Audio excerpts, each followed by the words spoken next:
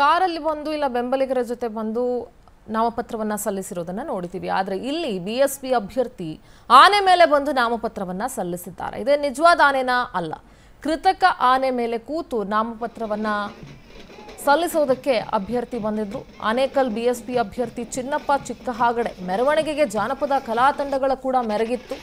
ಜಾನಪದ ಕಲಾ ತಂಡಗಳೊಂದಿಗೆ ತಾಲೂಕು ಕಚೇರಿಗೆ ಆಗಮಿಸಿ ಕೃತಕ ಆನೆ ಮೇಲೆ ಕುತ್ಕೊಂಡು ನಾಮಪತ್ರ ಸಲ್ಲಿಕೆಗೆ ಆಗಮಿಸಿದ್ರು ಬಿ ಎಸ್ ಪಿ ಅಭ್ಯರ್ಥಿ.